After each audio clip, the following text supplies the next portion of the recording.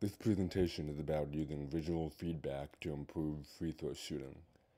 Using motion tracking software to observe release point and arc, it is possible to visualize the mechanics that produce both desirable and undesirable results. Upon observation and analysis, the necessary corrections can be made.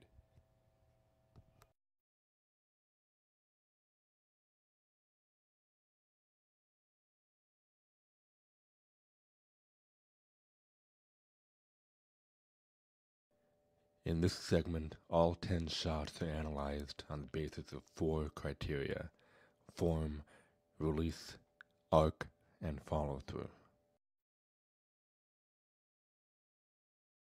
In this session, both misses had a relatively low arc and a late release point. On the other hand, all eight made baskets had a relatively higher medium arc and an early release point.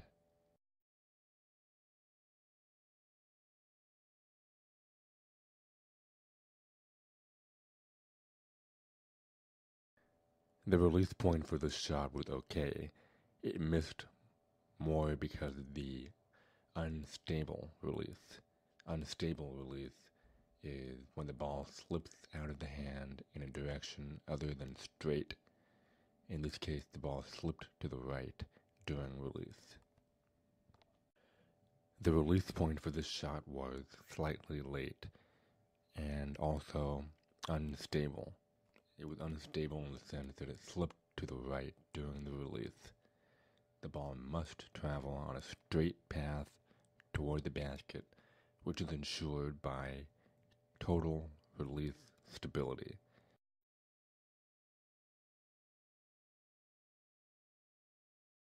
Before proceeding further, a brief explanation of terms.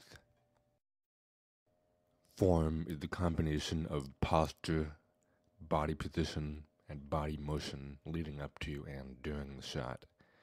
Form should be rigid in execution, that is, consistent from one shot to the next, and smooth in motion, smooth as in one fluid movement. The preceding examples have been characteristic of good form.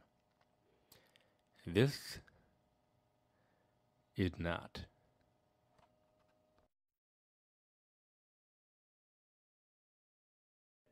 It is possible to have good form and still miss.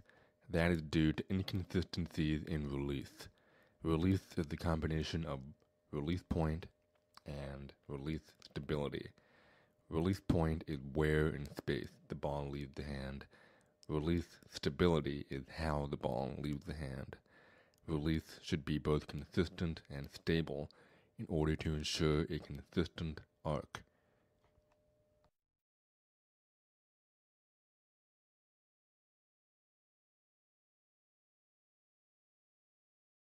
Arc is the flight of the ball toward the basket.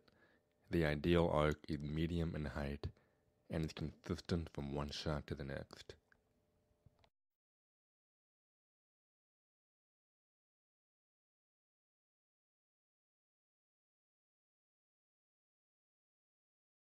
Follow through is maintaining form and holding release position until the ball goes through the net.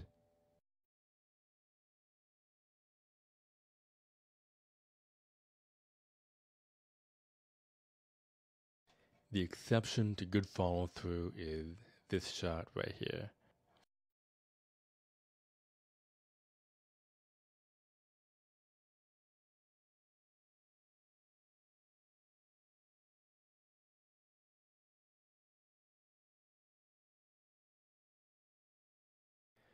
The best example of putting it all together is Dirk Nowitzki.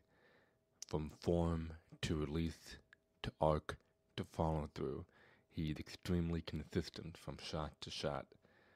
In particular, his form exhibits a minimum of body motion leading up to and during the shot. The more efficient the form, the easier it is to reproduce the motion from one shot to the next. Consistent form and follow through lead to consistent release and arc.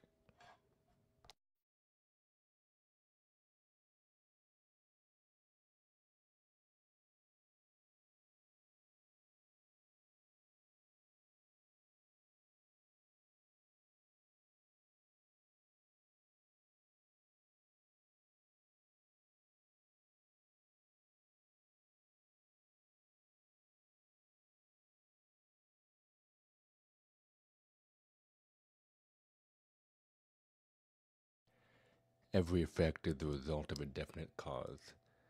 Slight changes in form, release, and arc produced a successful result, but the important change is not the result.